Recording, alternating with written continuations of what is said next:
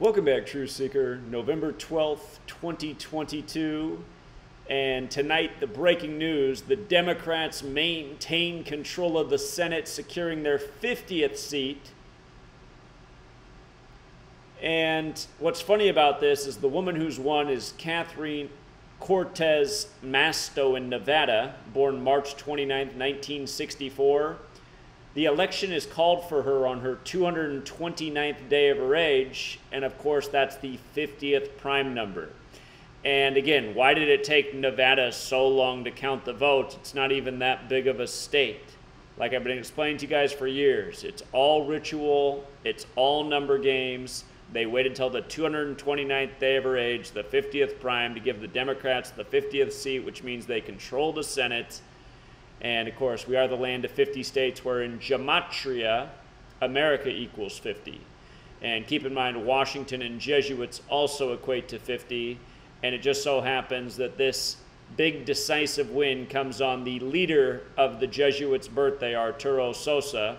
And if you don't know who the Jesuits are, again, it's only because your schools did a great injustice to you. The Jesuits have controlled Washington, D.C. for longer than the federal government being there.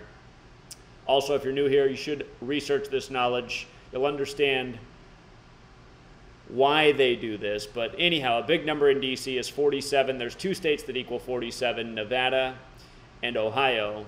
She wins in Nevada, in Gematria, Nevada, government, authority, Republican, Democrat, White House, President, DC, they all have that Gematria 47. Of course, Biden was the 47th VP, took office with 47 year old Obama.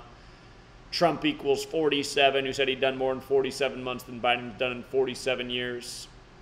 But yeah, ultimately, the thing to show your friends and family is on the 229th day of her age, they finally finished counting the votes in Nevada with no explanation for why it took so long.